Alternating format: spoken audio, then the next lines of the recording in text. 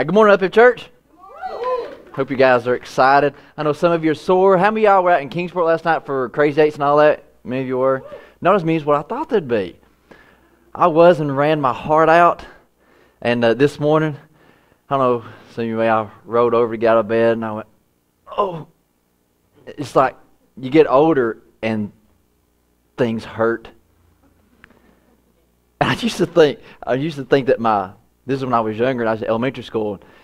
You see everybody else's parents. I was like, dude, my parents are old. And now that I'm getting older, I'm like, man, my parents are young. They are so young, and it's it's great. As my mom, by the way, that just earned me a hug after church. Um, it's great. I, we're so glad that you're here with us today, and uh, this is an amazing time. We've been uh, talking about our freedom we have, and I absolutely love this flag. And I, I, I just I believe with all my heart, I believe that we live in the greatest country in the world. I, I really believe that with all my heart. And even with all the stuff that's going on and on around, I still believe that.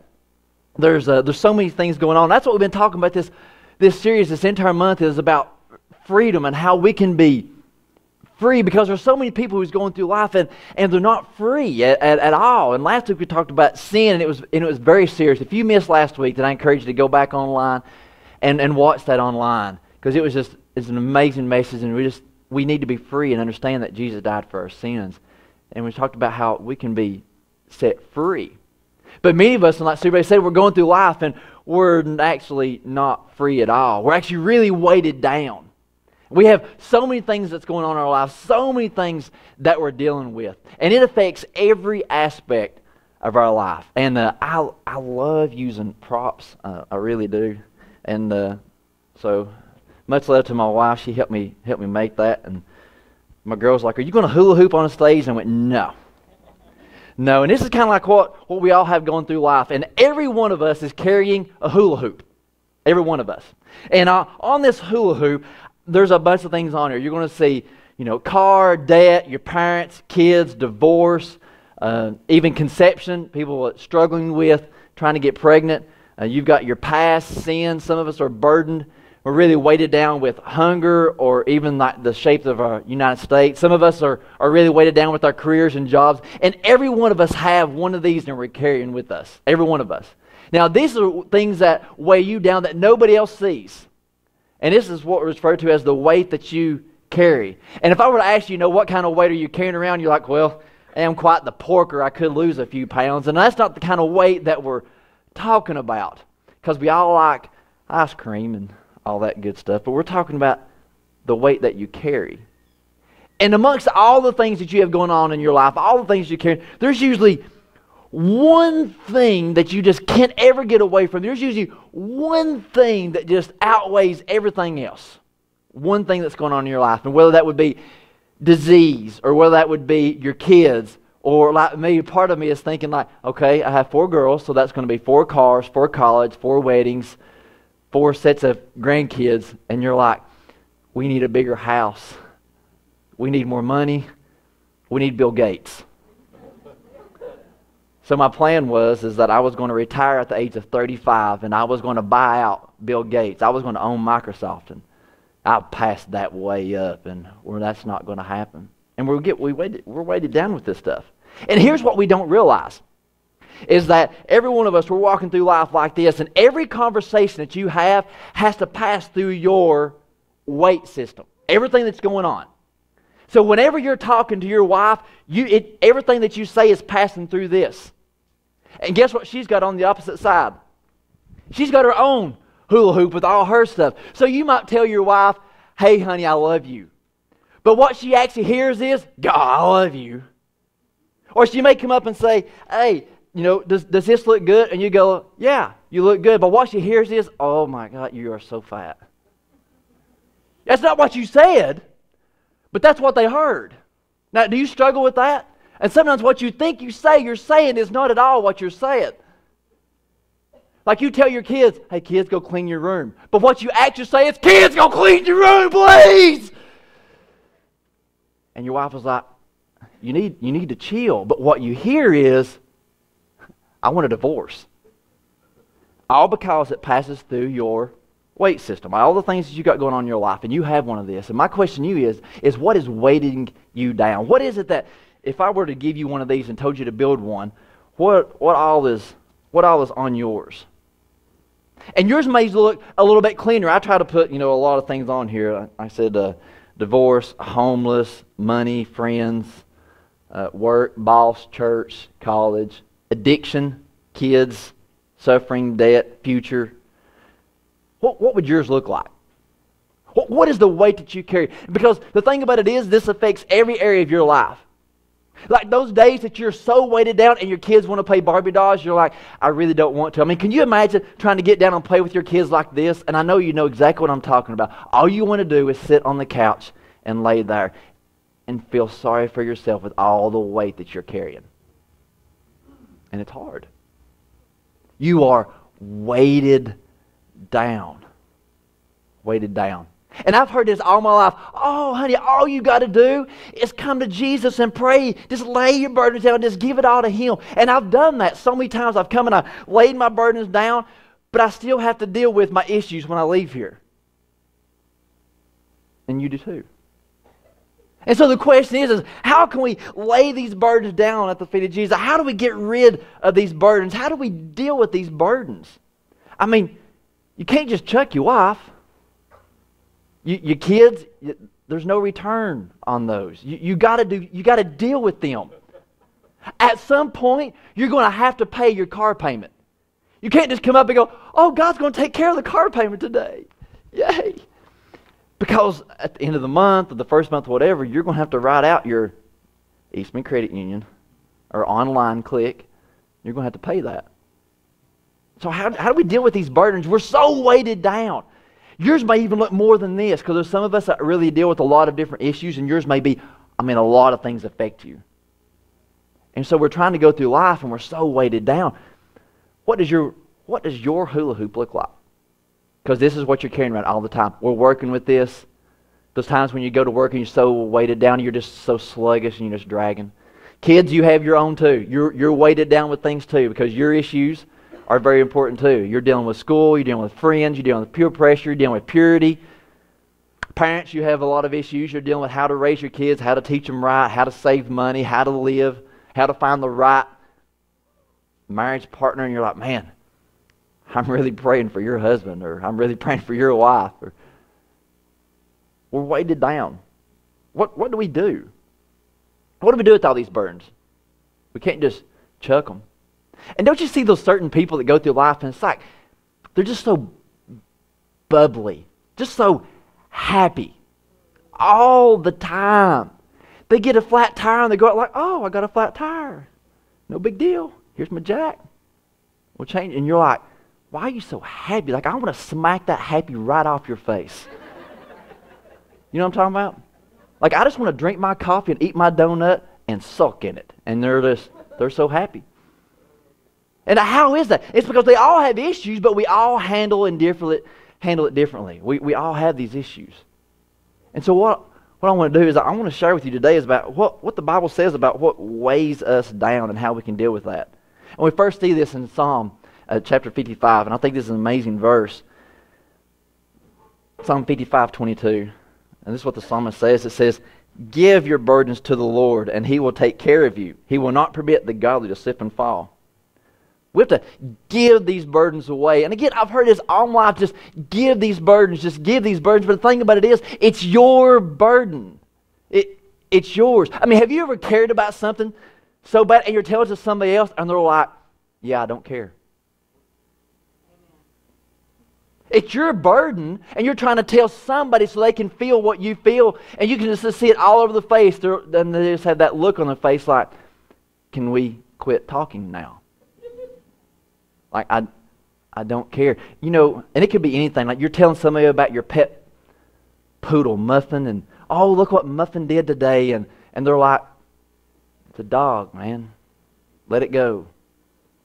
Every Monday, they're coming in sharing their little selfies with Muffin, and you don't care.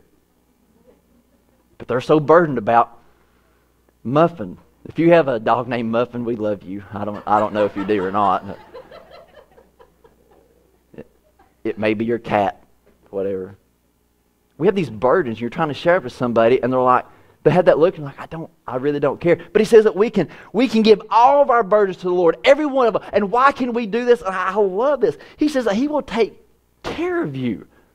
We give all of our burdens, everything that affects us, all of our worries, all of our care, all of our doubts. We can give him our hula hoop. And we see this all throughout the Bible. We can give him this hula hoop. Look at 1 Peter chapter 5. 1 Peter chapter 5, and I love this. Again, it's confidence that we can give these worries. He said in uh, 1 Peter 5 7, he said, Give all your worries and cares to God, for he cares about you. And this is awesome. Because we can pray and we can talk to God and give Him all of our burdens, all of our cares, all of our worries, and not one time will He ever say, Will you please just hush? I don't care. Because He does care. He cares so much about us. If, if, if God didn't care about us, He would have never sent His Son.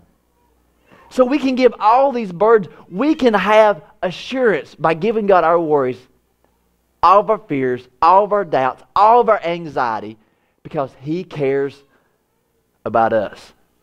But yet, so many of us are so, what we're doing, we're so focused on ourselves, we're so focused on our own issues that we can't even see God. We can make issues be issues that's not even issues.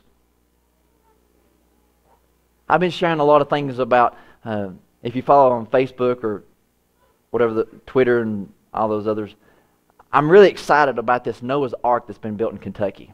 Uh, I'm really excited about this. I mean, a full life size Noah's Ark. Like, I want to own one of those so bad. And I talk about this every week because he's having so much criticism by atheists and people saying that that did not exist, that didn't happen. And this, this guy who done this is Dr. Ken Ham. And I've been so burdened, so praying for him in this vision. Could you imagine here you are, you know, you're living in the 22nd century and you're going out and you're telling everybody, you know what? I'm going to build an ark. And the, the looks that you get from people. And he, he, he's burdened for this. He's, he's burdened. And he's given all these burdens over to the Lord. And right now, what he's dealing with is atheists and people that are so hating him and against him. I'm telling you, there's so many people that tell us that God is not real, but there's no evidence that suggests that God is dead, but there's tons of evidence that suggests that God is real and He is alive and He's right here and He cares about you. Everything about you. He cares about you, your family. He cares about your weight, your job, your finances, your future. He cares all about you. But the problem is, we are so weighted down that we can't see God. And so when we get down and we pray to God and we're trying to talk to God, we're like this. And we're like, God, I can't see you because I've got this one thing that will not leave me. All I want to do is lift five pounds, God. Can I please just do that? Five pounds. God, all I want to do is just deal with my parents. I mean, please, Lord, will you help me? It's the one thing. God, please help me with my husband. He's driving me great. And this one thing that just won't leave you alone. Or maybe it's everything else, and we're trying to see God, and we can't see God from all of our junk. So he says to give us all these cares and all these burdens and all these worries, but what does that look like? Like, how do we do this? This is why I love the Bible. My favorite book of all time. If you have your Bible, please turn to 1 Samuel chapter 1. 1 Samuel chapter 1. One of my favorite all time stories in the Bible. It's about Hannah. And Hannah is this woman in the Bible who loves God. She's married to a man named Elkanah. And together they've been married for some time. And they've been trying to have a child. They just want to get pregnant so bad. And she's so burdened about this. She's so, she's so burdened. She's so burdened. And no matter what, they just, they never can conceive. They never can have a child. And so they're trying and they're trying and they're trying. And this is in 1 Samuel. Uh, this is in 1 Samuel chapter 1, verse 10. Here's what Hannah did. They went to church. They went to church, and in verse 10 it says Hannah was in deep anguish. She was crying bitterly as she prayed to the Lord. And she made this vow, O Lord of heaven's armies, if you will look upon my sorrow and answer my prayer and give me a son, then I will give him back to you. And he will be yours for his entire lifetime. And as a sign that he has been dedicated to the Lord, his hair will never be cut. I love this. So here she is. She's burdened. Her, her one thing is, her one thing is, she wants a child. And she gets down and she is praying and weeping. She is crying out to God. She's like, God, I've got this one thing. Will you please hear my prayer and give me a child? This is her one thing. She doesn't have all these other burdens. I'm sure there's other burdens there, but she's got this one thing and she wants this child. So she calls out to God. She prays. She's so burdened about this, she prays. And it wasn't something that just passed, and she wasn't just like, okay, God, we need a baby, give it to us now. I mean, she is crying out to God. Now, here's what is amazing is, is that God hears her prayers. Later, they leave church, of course, and they go home. They come together and through intimacy, and they end up having a child, and she follows through with it. She nurses the baby and then she weans him and then she brings him to the priest Eli. She says, Eli, I told you, here, here, I made a deal with God. Here's my son Samuel. He, he's yours. He belongs, to the, he belongs to God now. Let him serve in the church. And so they spend, he spends the rest of his life serving God through the church. And we know him as Samuel.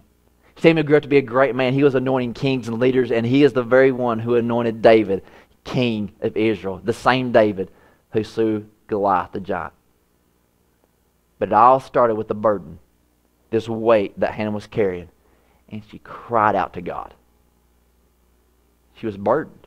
Again, I'm going to ask you, what are you burdened about? What is, what is weighing down on you? There's another burden that I want to share with you, and somebody who uh, dealt with this. This is in uh, Isaiah chapter 6. And he dealt with something that every one of us have to deal with.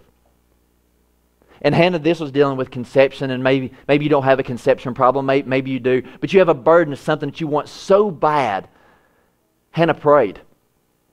Isaiah found himself something that every one of us suffer with. This is in Isaiah chapter 6. And what Isaiah finds himself was is that he is he finds himself standing for the very presence of God. And I don't know if that would intimidate you, but that would definitely intimidate me. I mean, you're talking about standing before God. I mean, he spoke to dirt and made the earth. I mean, he, man, I can't, I can't do any of that. Just in awe. In Isaiah 6, verse 5, this is what he said. He said, Then I said, It's all over. I am doomed, for I am a sinful man. I have filthy lips, and I live among a people with filthy lips. Yet I have seen the King, the Lord of heaven's army.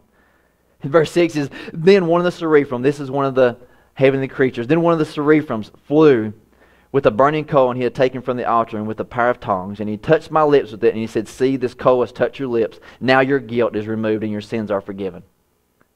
He was burdened with his sin. He, he knew and he found himself standing before the presence of god and he realized how sinful he was. And he was ashamed. And every one of us have experienced this or will experience this or should experience this the shamefulness and regret of our sins, our past, our sins. And he recognized this and he confessed before, God, I, am a sinner. I, I shouldn't be here. I'm, I'm a sinner. And God's like, I got this. I got this. And so he cleansed him and he forgave him of his sins. And now, because of Jesus, we can experience the same type of forgiveness. Peter experienced this the same thing. You, you, see this again in the New Testament. Peter had the same exact thing happen to him. This is in uh, Luke chapter 5. This is in Peter. And I, what happened to Peter, and I, I love this. Uh, Peter had been with his fishing buddies, and they'd been fishing all night long. And they didn't catch anything. These are professional fishermen that didn't catch anything. And the next day, here they are. They're sitting at the dock and they're fixing up their nets. Jesus comes walking up. He steps into the boat and he says, Hey, guys, take me out into the water. And so they go and they take him out in the water. And what Jesus does is he begins to preach from inside the boat. After he gets done preaching, he looks at Peter and says, All right, now what I want you to do is I want you to drop your net to the other side. And Peter's like, Come on. Jesus, now we've been fishing all night long. We haven't caught anything, but because you said so, we will do it. And so they do. They throw the net on the other side, and the net bouts to break because they catch so many fish. And here's Peter's response. Again, this is Luke chapter 5, verse 8. And he says, When Simon Peter realized what had happened, he fell to his knees before Jesus and he said, Oh Lord, please leave me. I am such a sinful man. For he was awestruck by the number of fish that they had caught, as were others with him. And his partners, James and John, the sons of Zebedee, were also amazed. Jesus replied to Simon, Don't be afraid. From now on, you will be fishing for people. And as soon as they landed, they left everything and followed Jesus. I love this. I love what we see here. Church, I don't know if you've ever been so burdened with your sins, but there is no freedom like the forgiveness of your sins. None. And a part of the forgiveness of your sins, Jesus will forgive you. There comes a point that you're going to have to forgive yourself. You're going to have to forgive yourself of your sins. You're going to have to let that go. Because if Jesus has cleansed you and set you free, then you are most definitely free. That doesn't mean you're not going to mess up. Oh, man. I mess up a lot. You're going to mess up. Peter, we see Peter all throughout the Bible. Man, did he mess up a lot. He messed up so much. And right here, he recognized, Jesus, I'm a sinner. Get away from me. You don't need to be in my presence. I don't need to be in your presence. Get away from me. He says, I got this. Because from now, you're going to work for me. Church, even the most wicked, sinful people can still be cleansed of their sins. And even much more than that, they can be used by God to do something great. Peter was a wicked, sinful man, and he was the forefront of the church. He did so many great things. And many of us will look at our lives like, man, I can't do nothing great. I'm just, I'm just a redneck hillbilly. I didn't go to college and I work hard, but I, I, can't, I can't do anything great. That's a bunch of blah because God can use you to do something great. If God has cleansed you and made you whole, then you are cleansed and you are set free from the bondage of your sins. God can save the most wickedest of sinners. And you don't have to carry around that weight no more. That regret, that worry, you can let that go because God has cleansed you and set you free. So here you see two different examples. You see Hannah. She is burdened weighted down with something that she wants and desires so bad. And she prays. Here, the next you see Isaiah and Peter, and both recognize that they are sinners and they're burdened with that, and yet they call it on God and He cleanses them. And that burden is gone. And I don't know if you've ever called out to God and prayed about something so, so much that I mean that, that you just almost felt that weight lift off you. And the thing about it is, is that we still have these weights that we carry. We still have these weights that we carry. We're still we're still dealing with it. But now we've got it in the hands of somebody else. So we have Hannah who's doing this. We see Isaiah and we see Peter here, and they're dealing with something differently. And maybe you're here today and you're like, man, I'm not dealing with any of this stuff. Well, there's something else that many of us have to deal with, and Jesus dealt with this as well, and that is death. Please, if you turn to John chapter 11, you see how Jesus dealt with this. That maybe some of you are really burdened about the death of somebody that you really love, whether it be a parent or a grandparent, somebody that just meant so much to you. And you struggle with this because they're gone, and you're like, man, if, if Granny could just be here, then our family would still be together. If, if Papa could just be here one more time, he would set this family straight. And you could just see the discord everything that's going on in the family. You're like, man, I really miss them. I've got somebody in my life. He, he was my life mentor. And his death occurred in 2007, and it's like, wow. I mean, it changed me, and I still struggle with that. Jesus struggled with this very same thing. One of his best friends died. He was very sick. Word had reached Jesus that he was very sick, and Jesus was on his way to go see him, and on the way, he died. His name was Lazarus. He died. Jesus came to, to the tomb, and I, this is how much he was burdened. This is John 11, verse 34. Jesus asked, Yes, the people, said, Where have you put him? He asked, and they told him, Lord, come and see. In verse 35, then Jesus, he wept. And the people who were standing nearby said, See how much he loved him? And maybe you've experienced a death like this in your family. Man, you you really loved him. And now that they're gone, that burden is just it's just weighted down on you. It's like you can't get any relief. Everything that you see reminds you of them. Every picture just brings back memory after memory. You dread Thanksgiving and Christmas and even birthdays because you're having to relive this. You don't go by the graveyard because of the hurt and pain you feel. Jesus experienced this exact same thing. But yet, when Jesus acted, he did something that we often don't do. He asked him, and he, he told him to roll the stone aside. This is verse 41. He said, So they rolled the stone aside, and then Jesus, he looked up to heaven and he said, Father, thank you for hearing me. You always hear me. And I want you to hear those words. You always hear me. But I said it out loud for the sake of all these people standing here so that they will believe that you sent me. He calls that on God. Now, granted, all powerful Jesus does something that we can't do. He stood at this open grave and he called Lazarus' name out, and Lazarus came walking out. And I'm not telling you that you can count on God and you'll make the dead come back to life. That's not what I'm saying. But what Jesus did is he called out to God the Father.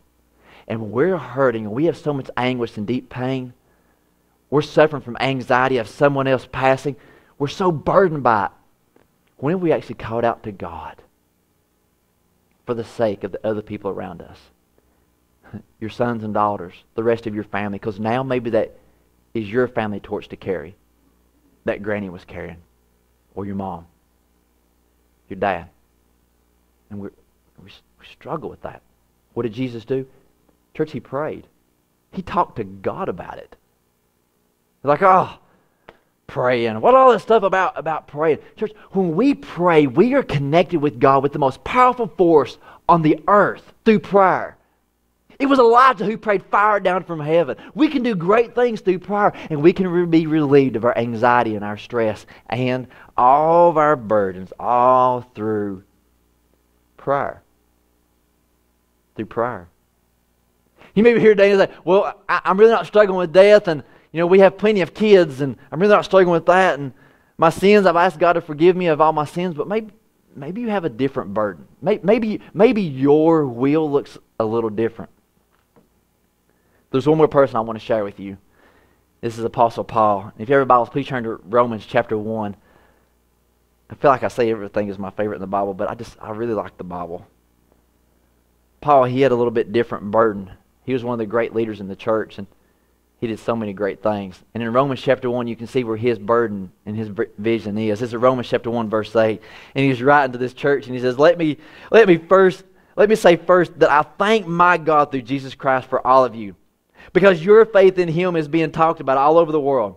God knows how often I pray for you. Listen to that. God knows how often I pray for you. Day and night, I bring your needs in prayer to God, whom I serve with all my heart by spreading the good news about His Son. Verse 10 One of the things I always pray for is the opportunity, God willing, to come at last to see you. For I long to visit you so I can bring some spiritual gift that will help you grow strong in the Lord. Paul here, he has a different burden. He is burdened for the people. He wants to see people saved. He wants to see people's needs met. He wants to see spiritual growth. And he is burdened for people. For people. I actually saw this firsthand with, with my dad. Somebody that was just so burdened for people. In the mid 2000s, we saw how a hurricane brought such devastation to Louisiana and Mississippi. Hurricane Katrina. Many of you know the some people that was affected there. And my parents left. They went down here to try to help and try to bring some sort of restoration here. And they were doing mud outs and clean outs. And then when they came back, I saw my dad. He just looked. I've never seen him look like this before, but he was burdened for these people. And I remember talking to him. He was like, "We're going to do something." Something. I'm like, Dad, what are you what are you going to do? He's like, I don't know. They need these people, these workers that are going in and out, they would go days and days and days without without a shower. They need a shower. And so what my dad did, he went and he went and bought this trailer, a great big old trailer. He parked it in the driveway, right in front of mom's parking spot in the driveway, and he built a shower trailer. Mom couldn't park there no more. She had to move over, and dad built a shower trailer so that workers and volunteers that were going to go to these disaster places could take a shower, just so they could take a shower. He built a, a shower trailer. And I tried it out. It had hot water and everything. You could wash your clothes and shave. It was great. But it came out of a, a burden for people. Well, that wasn't good enough. He, he did that and it went and got used and he came back and was like, these people got to eat. So he came back and again, he had mom's parking spot. He bought another trailer and it stayed there for months and he, and he built a kitchen in a, in a trailer because he had a burden for people. And he was so burdened, it's all he thought about. Every time I went to go see him to talk about, you know, our grandkids or something else, guess what my dad was talking to me about? Those people down there, and they need a trailer so they can shower and heat. And it's all he talked about. It was all upon him. Even when he prayed, he was praying for that. Why? Because he was burdened, just like Paul here was. Burdened for the people. And it was one of the most beautiful things my dad ever allow me to witness. Because I saw what God can do through a burden for the people. Look at what Paul said. I love this. If you read on down, this is verse 13. He said, I want, I want you to know, dear brothers and sisters, that I planned many times to visit you, but I was prevented until now. I want to work among you and see spiritual fruit just as I have seen among other Gentiles. For I have a great sense of obligation to people in both the civilized world and the rest of the world, to the educated and the uneducated alike. So I am eager to come to you in Rome too to preach the good news. This is his burden, this is his calling. And he is so weighted down with it. It affects every area of his life. When he goes to bed at night, he's thinking about those people in Rome. When Apostle Paul, when he's, he's eating, he's thinking about those people in Rome. When he's reading God's word and when he's preaching, he's wanting to see those people in Rome reached. And he, he's burdened by this. And maybe you have a burden, something that just weighs on you. Maybe it's children. Maybe it's world hunger.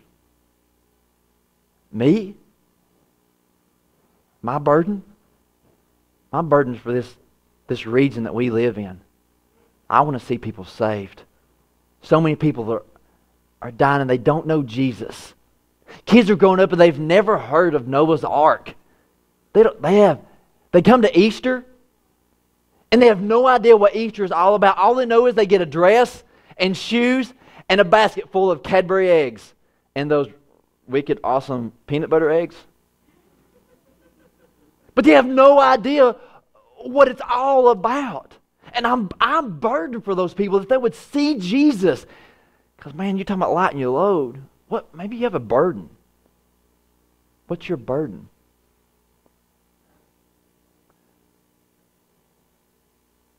My wife, I got to see her burden so very much, and it's still her burden. Her burden is for, is for our kids.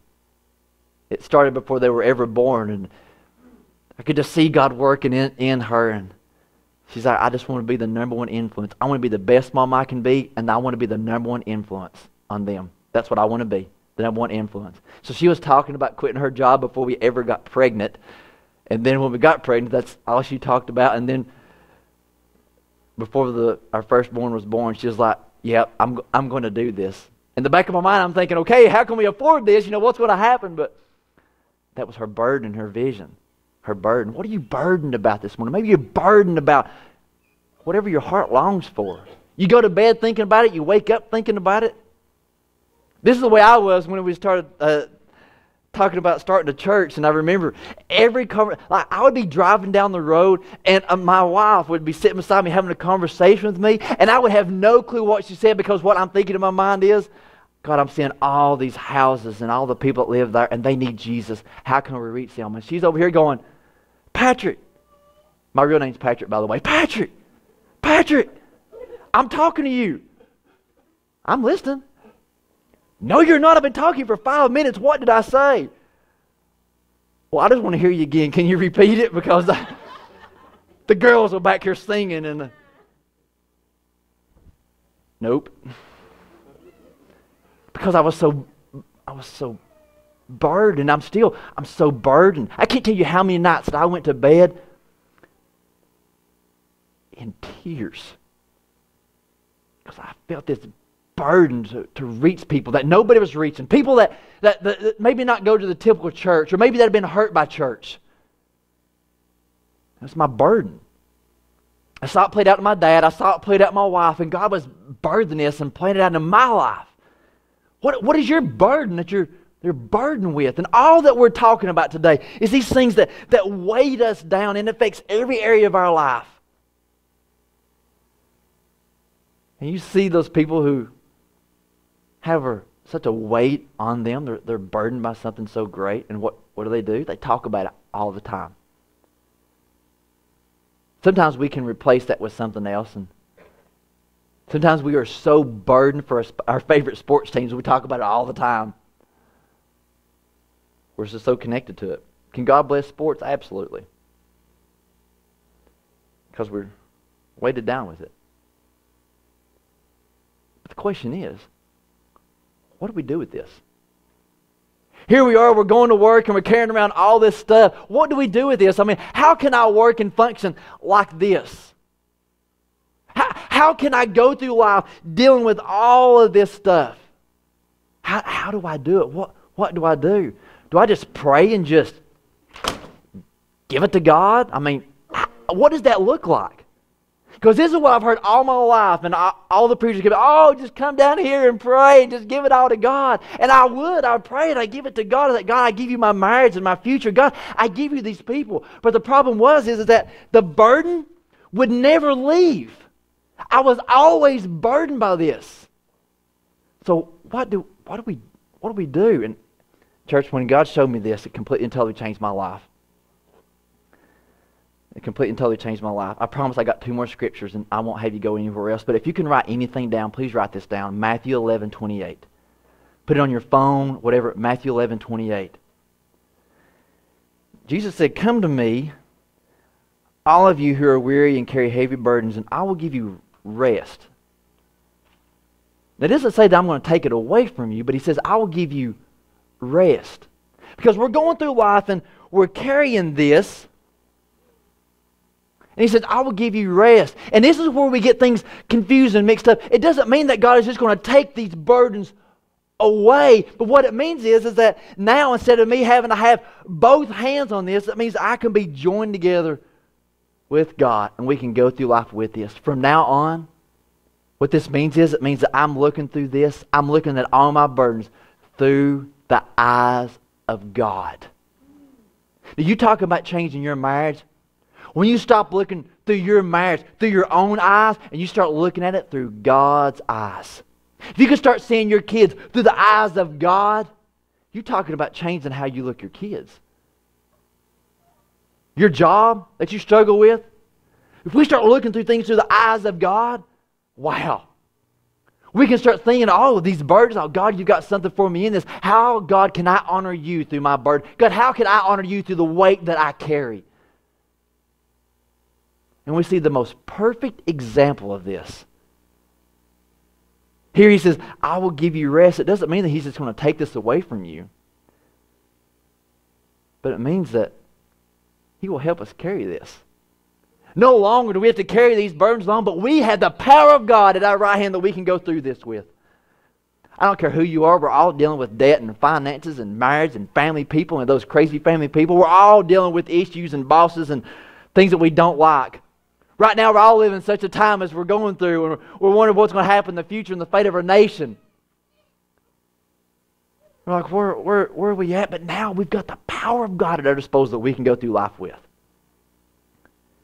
Kids, I don't know what your wagon wheel looks like. I don't, know, I don't know what your hula hoops looks like, but you've got something through this. And it's time to quit focusing on your own self pity. Get off the couch and say, God, what will you have me to do with this? Oh, but what we like to do is we like to sit on the couch. We like to rub it. We like to pet it. God, I know I need to lose weight, but it feels so good. And we just look at it. Yep. You like my burden? I like it too.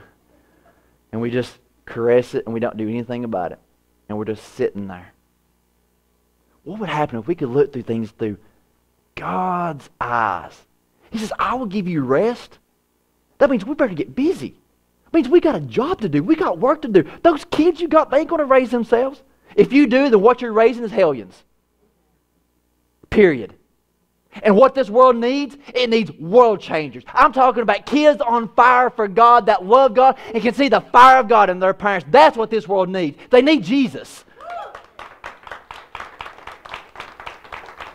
But I think many times what our kids see is our burdens. And your burdens become your kids' burdens. All your doubts and anxieties that gets passed on. Well, my mom and dad was like this. I'm going to be like this too. No, they're not.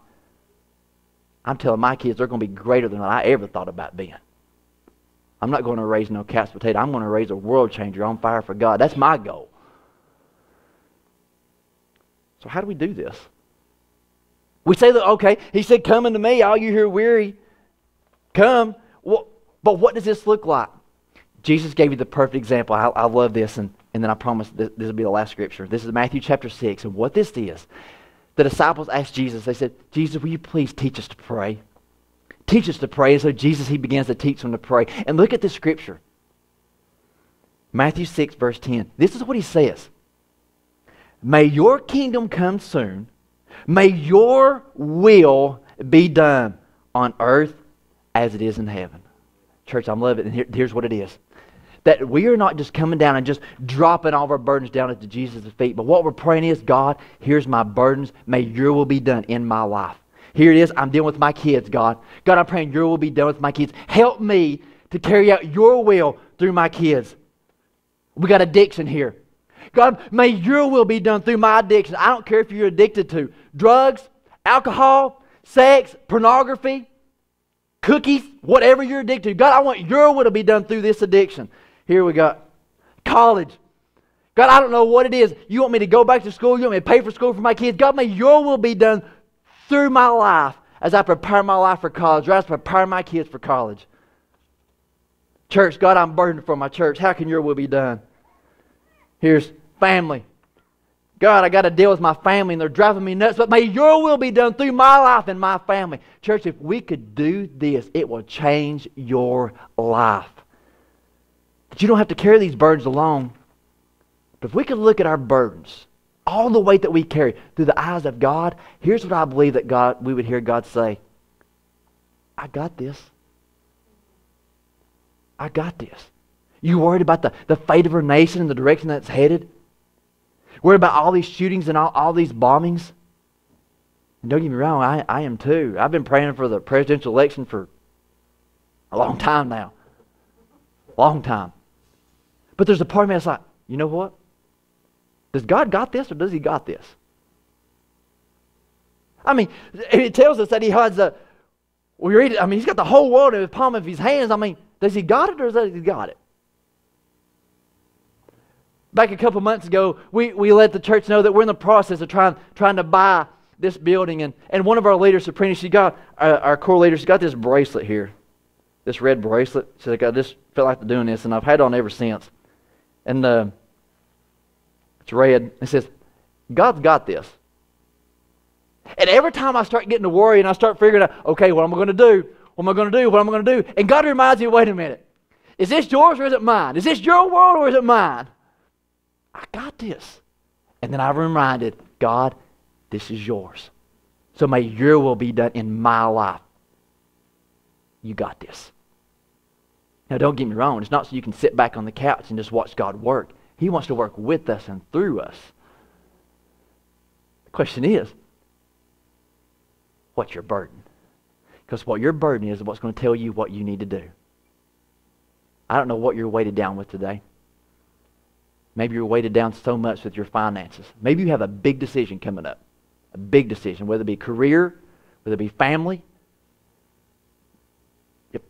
Something big. And you you need some guidance.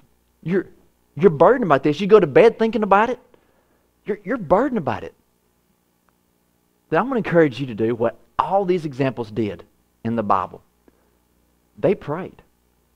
And the one thing they prayed is, God, your will be done.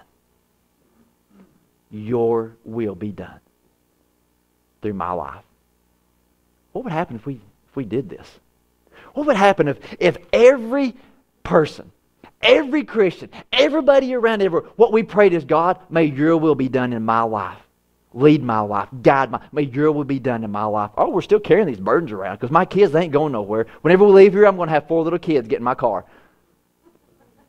I expect that. Sometimes you'd like to go poof and just let them, you know, disappear for a little bit, but they're going to, they're going to always be there. I love my kids love my wife. But sometimes we're so burdened, we don't know what to do. Church, that's the time we need to hit our knees and pray to God and say, God, what will you have me to do? Your will be done, not mine. Church, if we could look through our burdens through God's eyes, we would see a side that we've never seen before. Because we're changing our viewpoint. Now, now this is God's lens. These are God's burdens, and I'm just out here carrying out His will. Lord, your will be done. Whatever you want done, God, that's what I want. Could you imagine how things would change differently? Could you imagine how families would be different? Could you imagine how much work Eastman could get done if we were all working for the glory and honor of God? Man, you're talking about changing the world.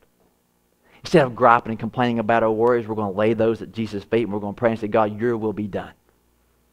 I'm not going to complain about my spouse anymore. I'm going to be on fire. I'm going to do what God wants me to do. God, may your will be done. Could you imagine how that would change your life? That now you're going to look through the lens of God. You're going to pray and ask God's will to be done in your life. And maybe you're here today like, yeah, but I, you don't understand. I've got so much sin in my life and I'm, I'm struggling with addiction and all that. I'm telling you, has God got this or does he not? Can he forgive your sins or can he not? In church, I'm telling you, he can. The problem is we doubt the power of God. I've resolved to give everything I've got to God, and I don't doubt him at all. If God can use Peter to walk on water, then he can use me to make a difference in the world. Question is, do you believe in the power and authenticity of God? I do. So can you move and work in your burden? Absolutely. The question is, is will you give it to him? Will you give it to him? Can God forgive you of your sins? Absolutely. But it comes a point in time you're going to have to ask God for your forgiveness and be cleansed. Peter did it. We see Isaiah did it. You got a burden that's weighing down on you so much. For Hannah, she wanted to get pregnant so bad. Maybe you got something that you want so bad. And it's time to pray and say, God, your will be done in my life. There's something you just got to get over, whether it be your past or what we talked about was the death of Lazarus, something that you, you went through in your life, and you've got to get past that. It's time to pray, God, your will be done. Your will be done. This morning, I want to ask you again. I ask you to start at this very beginning of this message. What is weighting you down? What is weighting you down? I have no idea what you're going through. I have no idea what you're experiencing.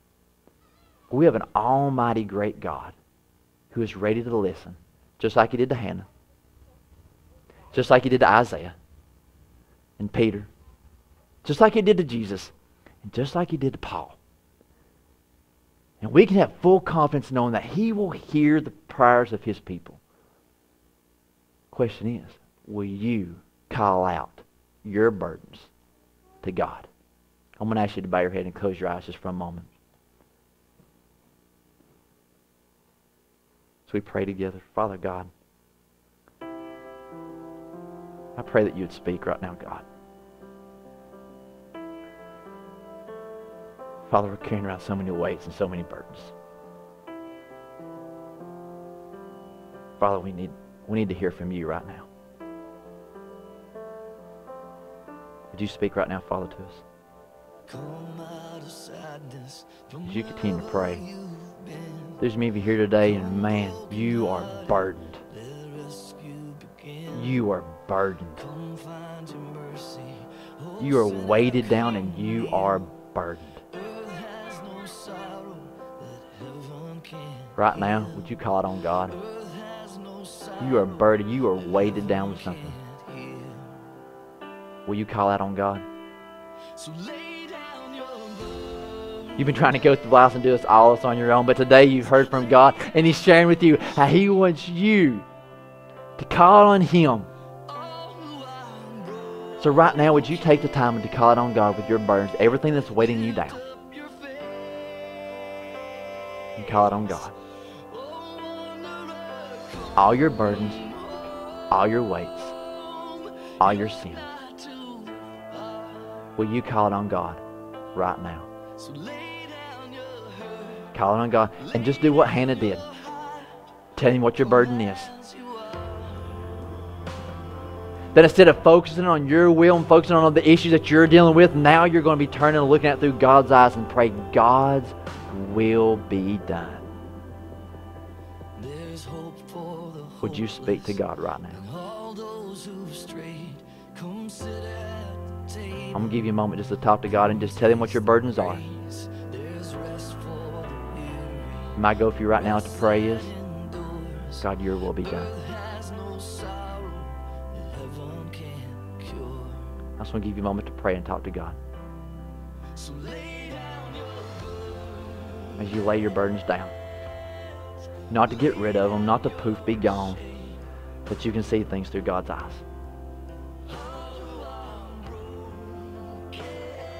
Those of you that are here today and say, Yeah, I, I just prayed that, and I would love to have your prayers. If that's you today, that you're weighted down, you're a burden, you, you've called out to God and you, you just want you just want some more prayers. You want people to pray with you and for you. Nobody's around. This is just for me. I, I just want to pray for you.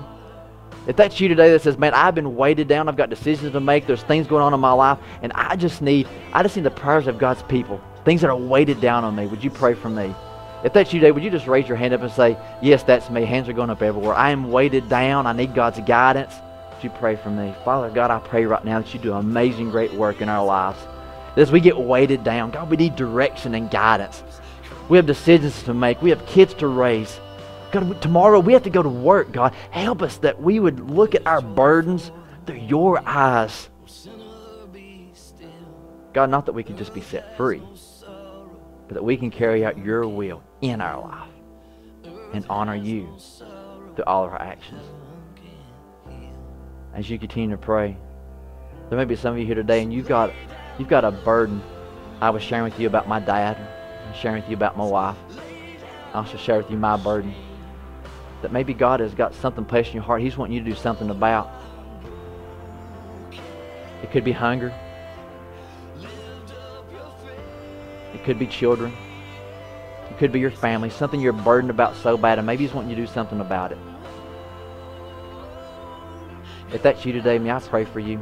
If there's something that's weighing on you so bad and you just know that you got to do something about it, He's calling you to action. I want to pray for you. Apostle Paul, he was called to action and he moved so great. Right now, right now, may I pray for you? If that's you today, would you just slip your hand up and say, God is calling me to action. He wants me to do something. The hands are going up. Maybe say, as God's calling me to action. He's wanting me to do something. The hands are still going up, guys. I want to pray for you. Hands are still going up. God's got something He's wanting me to do. God, I pray for these people. God, you're leaders. You're the leading God and direct us, God, that we might carry out your will in our lives. God, I pray that you'd help them as they take a step of faith and do, God, what you want done. May your will be done in our lives. May your will be done on earth as it is in heaven. As you continue to pray, there's one more group of people I just want to speak to briefly. Maybe you're here today and you don't know God the way that we've talked about. If people were to ask you if you are saved, if you're a Christian, you're not quite sure what your response would be. You might say, Well, I go to church, or I think so. And maybe God is trying to speak to you right now and say, Hey, man, I want you.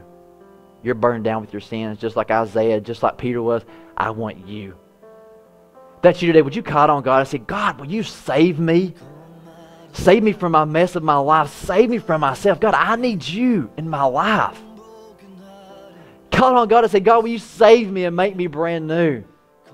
I give you my life. Take my life. I accept Jesus Christ as my Savior for my sins. Now help me live the rest of my days of my life for you. If you prayed that prayer, no one's looking around. May I, may I pray for you? If you prayed that prayer today to make Jesus Christ your Savior, you just lift your hand up and say, I prayed that prayer today.